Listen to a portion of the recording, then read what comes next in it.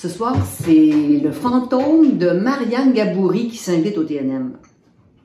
Marianne Gaboury, c'est une femme qui a vécu entre 1760 et 1875. Euh, elle est morte à 95 ans. Elle a eu neuf enfants. C'est la grand-mère de Louis Riel. Et c'est surtout la première femme canadienne-française d'ascendance européenne à avoir exploré l'Ouest canadien. Ma vie commence au bras d'un homme, un bras de pagayeur, assez fort pour fendre les eaux de la rivière Bataille, assez puissant pour porter une femme d'un bout à l'autre du pays. Je suis né un soir de janvier, soulevé par son souffle, un souffle à soulever les esprits. Et même les jupes. Comme un grand vent d'ouest qui m'a prise par la taille puis qui m'a fait tourner, tourner, tourner. On n'avait jamais vu ça dans une veillée, un compteur pareil. Ce soir-là, Jean-Baptiste Lagimodière mené loin de Masquinongé, loin du presbytère où je cirais les parquets, où j'amidonnais les linges du curé.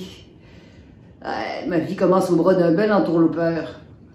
Ces histoires de canaux fous puis de diable changés en carcajou ce soir-là, dans la salle paroissiale, il m'a transporté. Comme on dit dans les livres, transporté d'amour.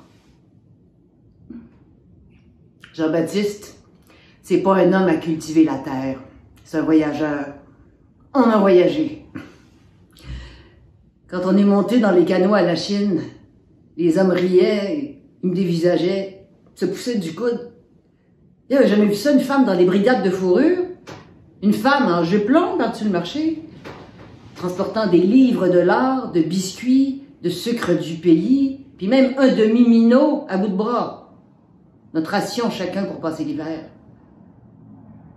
À Pembina, c'est là qu'on a passé notre premier hiver au bord de la Rouge.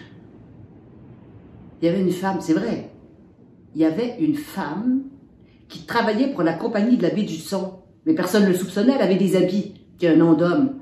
Une Écossaise qui s'appelait John Forbister. On a tous été très surpris d'apprendre un beau matin que John venait d'accoucher. ouais, Surprise, je l'ai été plus encore et choquée quand s'est pointée au poste une sauteuse. Josette l'Indienne, c'est comme ça qu'on l'appelait. Avec ses trois petites filles. Trois petites métisses. Les trois filles de Jean-Baptiste la Gimodière, mon Jean-Baptiste. Un, bel entourloupeur, je vous le dis. Il avait marié l'Indienne des années plus tôt à la mode du pays, comme on disait. Tous les Blancs font ça. sont fins seuls dans le bois. C'est la nature. Hein. Qu'est-ce que je pouvais, moi, contre la nature? L'Indienne était encore plus furieuse que moi, elle voulait me tuer. Elle disait à tout le monde au poste qu'elle allait empoisonner la femme blanche. On s'est sauvés de nuit, Jean-Baptiste et moi, on est partis à l'ouest, vers la rivière Souris, et puis plus au nord, vers la Capelle. Ouais, c'est comme ça qu'on l'appelle. La rivière Capelle. Les cris disent qu'elle est habitée par un esprit L'esprit répète Katepouet, Katepouet. Ça veut dire qui appelle Qui appelle Moi, je compose esprit. Mon premier enfant, une fille, je l'ai eu le jour des rois. On l'a appelée Reine. Et le deuxième, je l'ai accouché dans les prairies. Imaginez. Nous sommes à la chasse, Jean-Baptiste et moi. On chevauche tranquillement depuis des heures à la recherche de bisons, et soudain en voici dix, cent, des milliers. Tout à coup, on est pris au milieu d'un immense troupeau de bisons. Mon cheval s'emballe, c'est une jument.